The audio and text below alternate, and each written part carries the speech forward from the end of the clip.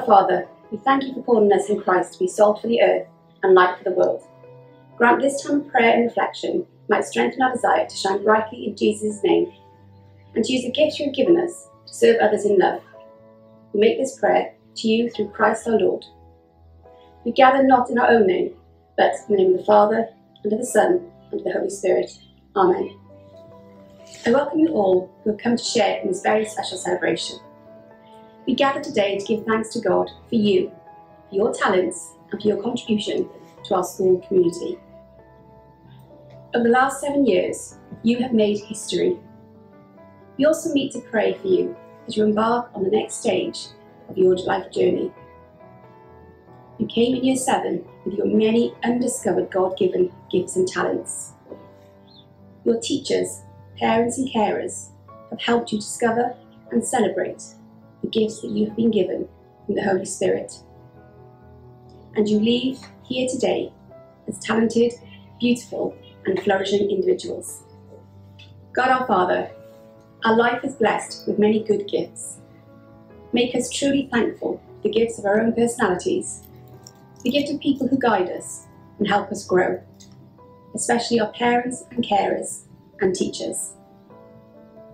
May we be your presence in the world, in how we relate to others, in all that we say and all that we do. We make this prayer through Christ our Lord. Amen. Whilst for many, today is a reflection of seven years spent at St. Joseph's. For others, it is just about two years here, or perhaps five years, or some other number in between. For some, leaving at the end of this academic year is about going on to study at university, apprenticeships, gap years, or full time employment. But with thankfulness for the experience of years here at St. Joseph's. For many staff, colleagues also leaving this year, there's a shared sense that St. Joseph's has been much more than just any other school. This service, in celebration of you, and this whole day, have its moments of great thankfulness and its times of thoughtful and even self-reflection. A special time coming to its end. A reading from the prophet Isaiah. Do not be afraid. But now, thus says Yahweh, who created you, Jacob, and who formed you, Israel, do not be afraid, for I have redeemed you. I have called you by your name. You are mine. Should you pass through the sea, I shall be with you, or through the rivers, they shall not swallow you up. Should you walk through fire, you will not be scorched, and the flames will not burn you. You are precious in my eyes, and I love you. Do not be afraid. The word of the Lord.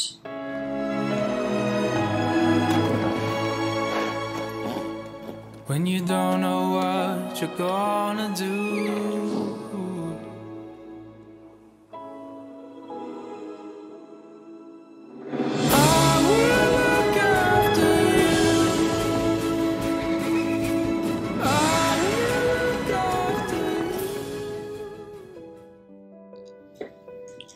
Reading is from St. Paul's letter to the people of Rome. In it, he reminds us of the way we should live as Christians. It is good advice for anyone about to go on a new journey. For it says, Be a real family, warm hearted in your care for one another. Look forward to God's new world with gladness. In hard times, stand your ground. Never forget to pray. Share other people's happiness and other people's sadness. Learn to respect everyone. As far as you can, be friends with everybody. The word of the Lord. I want to make just three points, three simple messages or pieces of advice about the journey that lies ahead for all of you. The first is about appreciating your family and friendships. Whatever happens to you, you have family and friends, and they are never far away. Particularly in this age when communication is so easy, with mobiles, Twitter, and Instagram, and many more. You need to be prepared to use it for more than just the exchange of the trivial conversations, and enable yourselves to really connect with those you love. Family and friends are so important. when you are being knocked by the harsh, cold winds of life, as you will be at times, and can make you feel very lonely, just make the effort to look around you and try to connect with your family and friends. Because they are there for you. Don't shut your loved ones out. Talk about connecting with your parents, carers, and grandparents when you're far away from home. They do worry about you because they love you. Just drop them a hello once in a while. My challenge is to tell them that you love them often. If you do, they won't be able to take the smile off their faces. They love you very much.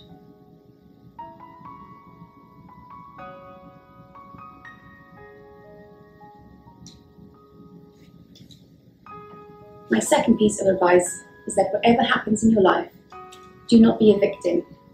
Remain in charge of your own fate and your own destiny. You are the masters of your fate. You are the captain of your soul.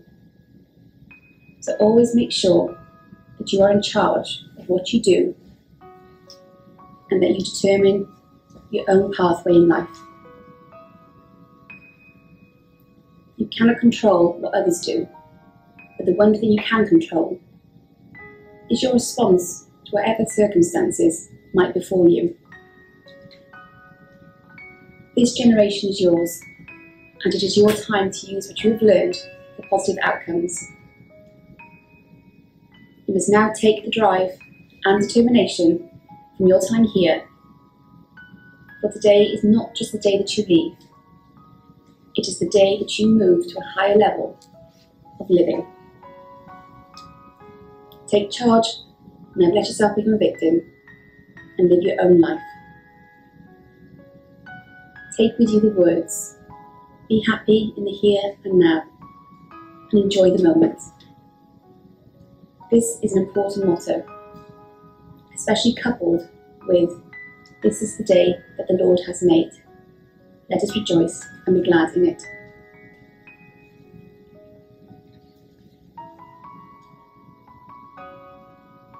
My third and most important piece of advice is not to forget your faith. You have been on the most incredible faith journey here at St. Joseph's. You may not have realised it, but each one of you has developed your journey of faith just through the everyday actions you carry out.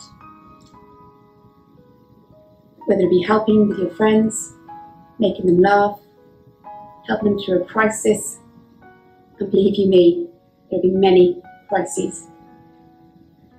But remember, Christ is not the end, He is the beginning.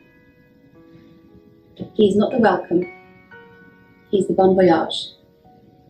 He does not sit back restfully on soft clouds, but is battered by the waves just as we are. Whatever your beliefs, don't ignore your soul and its journey. It needs care and development to provide the values, the framework, the faith, and the purpose that you need.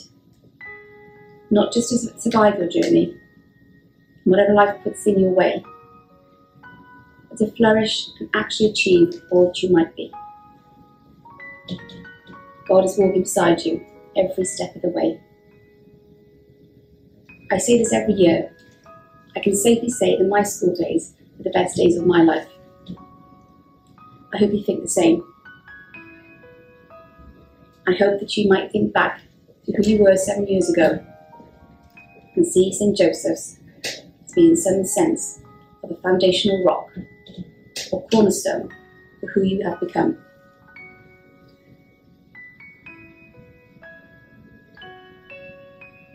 I hope you have been given the challenge by those of us who have taught you always look at life in a way that you can dare to be different from the rest.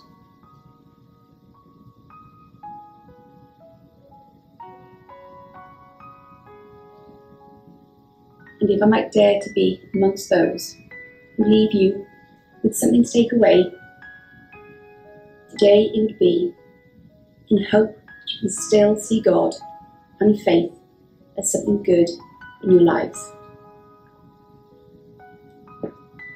As I have said on many occasions, I hope that from your experience at St. Joseph's, you can be amongst those who stand up for the love, the hope, and the truth that sincere faith can bring to this world.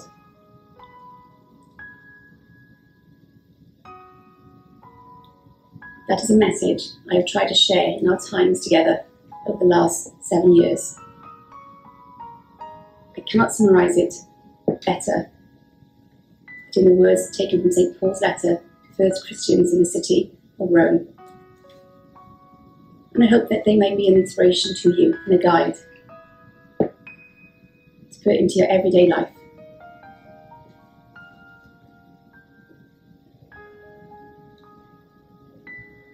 A reading from Romans chapter 12. Do not be conformed to this world, but be transformed by the renewing of your minds, so that you may discern what is the will of God, and what is good and acceptable and perfect. Let love be genuine, hate what is evil, hold fast to what is good, love one another with mutual affection. Outdo one another in showing honour. Do not lag in zeal, be ardent in spirit, serve the Lord. Rejoice in hope, be patient in suffering, persevere in prayer, contribute to the needs of the saints, extend hospitality to, strangers. Bless those who persecute you. Bless and do not curse them. Rejoice with those who rejoice. Weep with those who weep. Live in harmony with one another. Do not be haughty, but associate with the lowly. Do not claim to be wiser than you are. Do not repay anyone evil for evil. But take thought for what is noble in the sight of all. If it is possible, so far as it depends on you, live peacefully with all.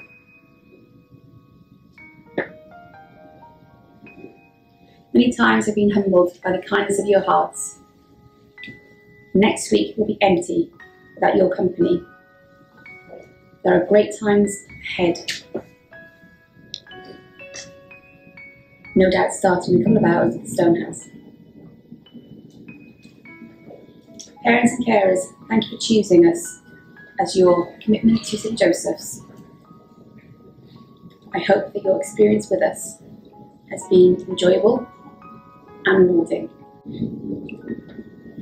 I believe that you only have to look at your children to know you made the right choice.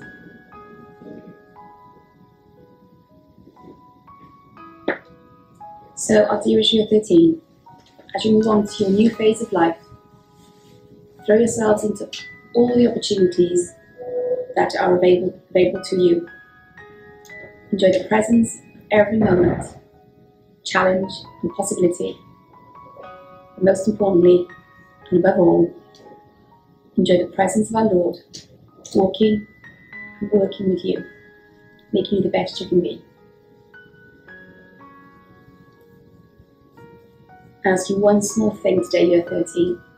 In the silence of your hearts, that means in silence. Look around you one last time and absorb all your memories. Let us pray we may be truly grateful for the gift of God in our lives and for our friendships. We look now to the future and pray for everyone here and for our own intentions. Lord, we thank you for the support of our parents and carers throughout the years. We hope that they know how much we love and appreciate them. Although sometimes we might have difficulty showing it, we pray that they know how important they are to us. Lord, we pray for the staff of St. Joseph's. We would like to thank them for their guidance and support throughout these memory, memorable years. We also pray for the students, may they be ambitious in their work, happy in everything, happy in everything they do, and always have hope in their futures. This morning, we think of all the friends we have made during our years at St. Joseph's. We remember our laughter and our tears. Lord, as we reach this stage of our lives, journey may we be blessed with good friends. May we always carry with us good memories of our school friends.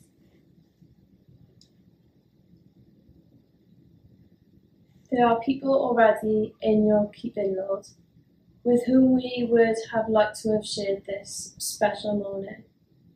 Our lives are better for having known them, and we are grateful for that. We pray that they may know how much they are loved and missed. Lord, as we leave this stage of our lives, may we always keep the light of hope in our hearts. With each new day that comes, and every step that we may take, may we always remember the true essence of the human spirit that is hope.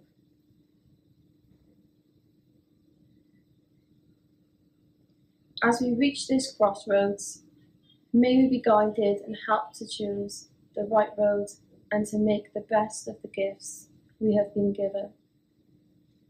Guide us to remain true to ourselves as we step tentatively into the future. God our Father, we ask you to listen to these prayers and, if in accordance to your will, grant them. As we look back with thanksgiving to God, who guided and strengthened us all through the crossroads of our lives, we pray that He will continue to chart the path ahead, which we place into His hands. Let us sum up all our prayers with the words Jesus gave us Our Father, who art in heaven, hallowed be thy name. Thy kingdom come, thy will be done, on earth as it is in heaven. Give us this day our daily bread, and forgive us our trespasses, as we forgive those who trespass against us. And lead us not into temptation, but deliver us from evil. Amen. Don't Quit by John Greenleaf Whittier. When things go wrong, as they sometimes will, when the road you're trudging seems all uphill, when the funds are low and the debts are high, and you want to smile, but you have to sigh, when all is pressing you down a bit, rest if you must, but don't you quit. Success is failure turned inside out the silver tint on the clouds of doubt, and you can never tell how close you are. It may be near when it seems far. So stick to the fight when you're hardest hit. It's when things go wrong that you must not quit. I chose the following clip as I think it is a powerful, inspiring message that can reach out to everyone, especially to those who've been confused with what to do with their lives. Each one of you will make an impact on the world. How you do it is your choice. When you do it is also your choice. Do not be compelled by time.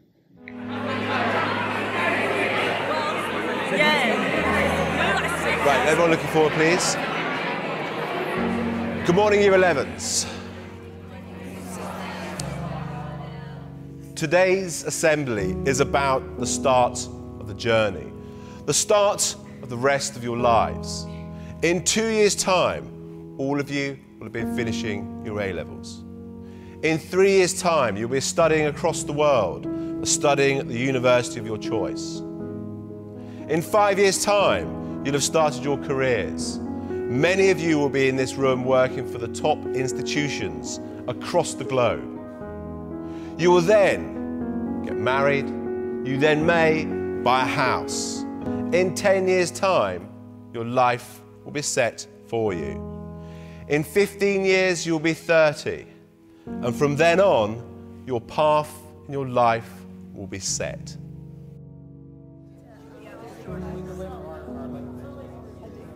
I'm sorry, Mr. Headmaster.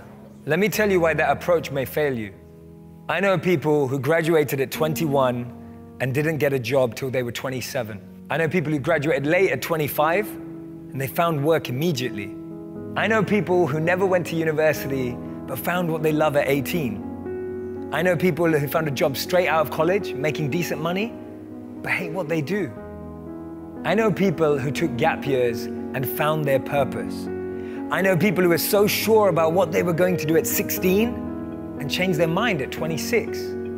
I know people who have children but are single.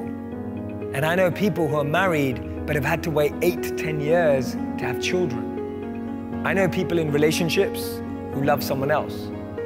I know people who love each other but aren't together. So my point is, everything in life happens according to our time, our clock. You may look at some of your friends and think that they're ahead of you, or maybe some of them you feel are behind. But everything happens at their own pace. They have their own time and clock, and so do you.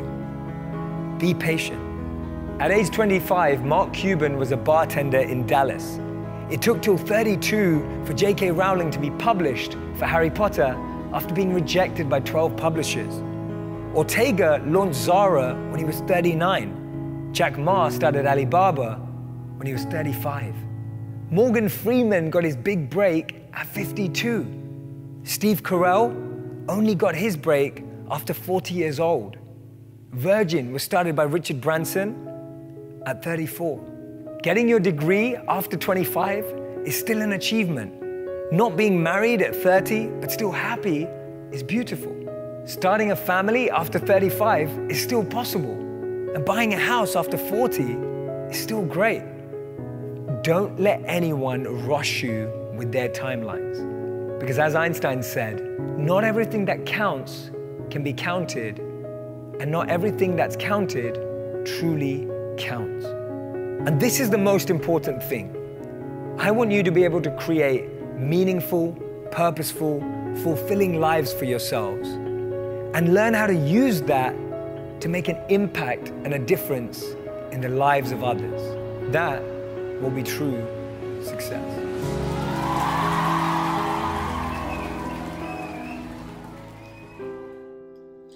On behalf of all your form tutors, I offer the light of wisdom. Carry this light of wisdom out into the world. When faced with choices and decisions, may wisdom inspire and lead you to goodness and truth.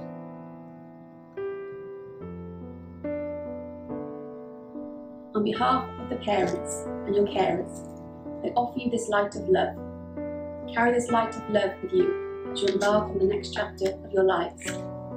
When you find that the light of love is flickering or threatened, let God shine in your life.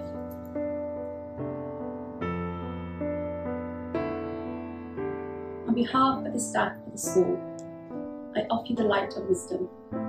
Carry this light into the world when faced with choices and decisions. May wisdom inspire and lead you to goodness and truth. On behalf of all students, I offer the light of memory. Carry the loving and fun memories of your primary school days, high school days, and sixth form days with you. Remember each other always and hang on to those sacred moments and memories.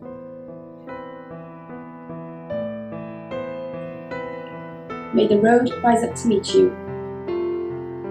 May the wind be always at your back. May the sun shine warm upon your face. May the rains fall soft upon your fields. Until we meet again, may God hold you in the palm of his hand. Every year I include this blessing. This traditional blessing is an ancient Celtic prayer.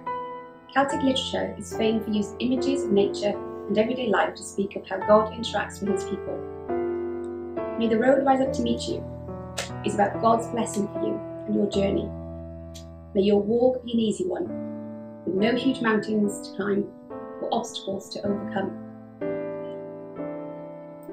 It alludes to three images from nature the wind, the sun, and the rain, as pictures of God's care and provision. The wind can be likened to the Spirit of God, who came as a mighty wind at Pentecost. The sun's warmth in the prayer reminds us of the tender mercies of God, by which the rising sun will come to us from heaven, whilst the soft falling rain speaks of God's provision and sustenance. And finally, we are reminded that we are held safe in God's loving hands as we travel on our journey through life. As you end one journey and begin another, go forth, year 13, into the world as people of faith, hope, love, and vision. Hold fast that which is good and render to no one any harm. Strengthen the faint hearted, support the weak and vulnerable, help the afflicted, give dignity and respect to all, love and serve the Lord. We ask this through Jesus Christ our Lord. Amen. Lord, let us take the confidence, the pride, and the sense of achievement which we have gained here at St. Joseph's. Let God be with us. Your Son Jesus was always ready to face any challenge. Help those who are leaving this year to face the future with hope. If by Rudyard Kipling. If you can keep your head when all about you are losing theirs and blaming it on you. If you can trust yourself when all men doubt you, but make allowance for their doubting too. If you can wait and not be tired by waiting, or being lied about, don't deal in lies, or being hated, don't give way to hating, and yet don't look too good nor talk too wise. If you can dream and not make dreams your master, if you can think and not make thoughts your aim, if you can meet with triumph and disaster and treat those two impostors just the same, if you can bear to hear the truth you've spoken twisted by knaves to make a trap for fools, or watch the things you gave your life to broken, and stoop and build them up with worn out tools. If you can make one heap of all your winnings and risk it on one turn of pitch and toss and lose, and start again at your beginnings and never breathe a word about your loss. If you can force your heart and nerve and sinew to serve your long your turn long after they are gone, and so hold on when there is nothing in you except the will which says to them, hold on. If you can talk with crowds and keep your virtue, or walk with kings nor lose the common touch, if neither foes nor loving friends can hurt you, if all men count with you, but none too much, if you can fill the unforgiving minute with 60 seconds worth of distance run, yours is the earth and everything that's in it, and which is more, you'll be a man, my son. A blessing for parents and carers. Give thanks to God for the gifts which you have shared with your children and the school community. May you faithfully live your vocation to guide your children through life. May you know that God is always present with you in your task of parenting. May you be given strength and courage as you help your children to open up to the boundless, God given gifts and talents. May God bless you in all that you do. And we ask this through Christ our Lord. Amen. Lord, your future is in your hands. Enable this year group to walk the earth with respect and care. May they journey in ways of goodness and trust, and be protected from walking away from all that is true. Almighty God, this year group has shared many things over the last seven years. The ties are now broken. We say goodbye and end our year together. Lord, bless each of us teachers, parents, and carers, and friends, especially those we'll not see again. Keep us all in your care throughout our lives. Guide our steps and strengthen our hearts. We ask this Jesus Christ, our Lord. Amen. May the Lord Jesus walk with you on your journey. May God lighten your step and lift your eyes to the horizon. Life is an echo. What you send out comes back. What you sow, you reap. What you give, you get. What you see in others exists in you. Do not judge, so you will not be judged. Radiate and give love, and love comes back to you. May God bless us all. In the name of the Father, and of the Son, and of the Holy Spirit. Amen. St. Joseph, pray for us. Before the final PowerPoint, I have a little gift for you. I've made you each a keyring to remember your time here at St. Joseph's. Your form tutor will pass the basket around for you. Please take one. You will notice the cross as a reminder of faith and God's love for you. You have an angel wing so that God will carry you through the difficult times, and a heart to show that you are loved so very much. Please put these on your car keys or your university room keys and be reminded just how special you are.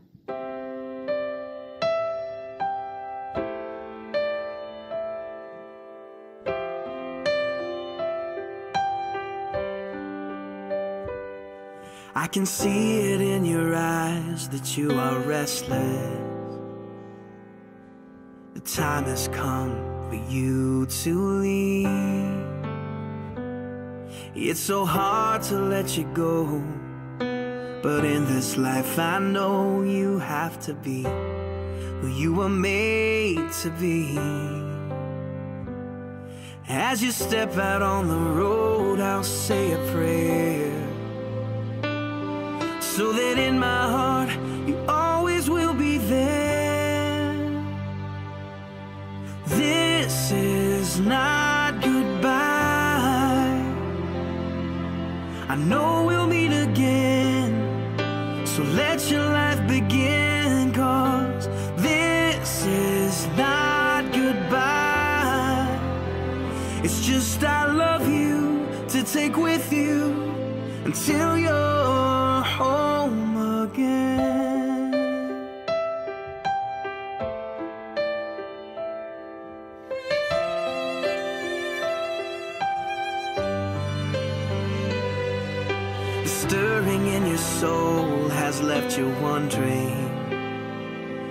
should you stay or turn around?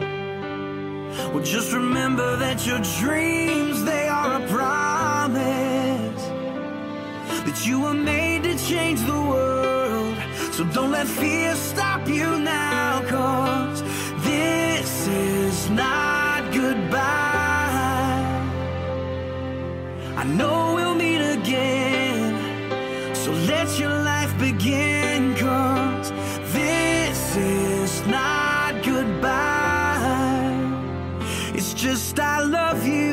to take with you until you're home again. Oh, I know the brightest star above was created by the one who loved more than we'll ever know to guide you when you're lost. What started as a still small voice is the follow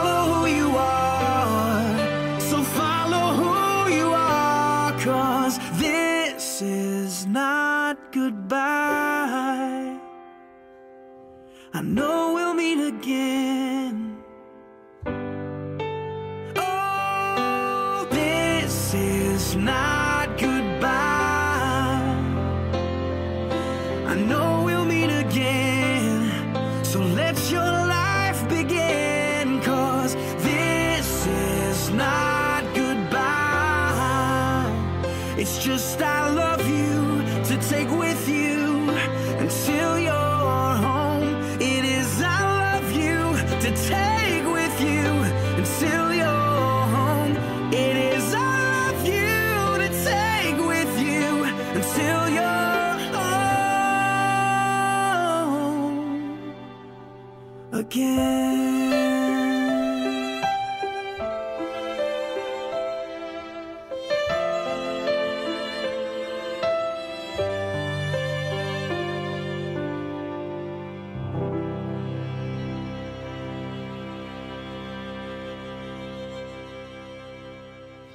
Only one thing to say now you're 13, and that is goodbye and good luck. Take care and God bless.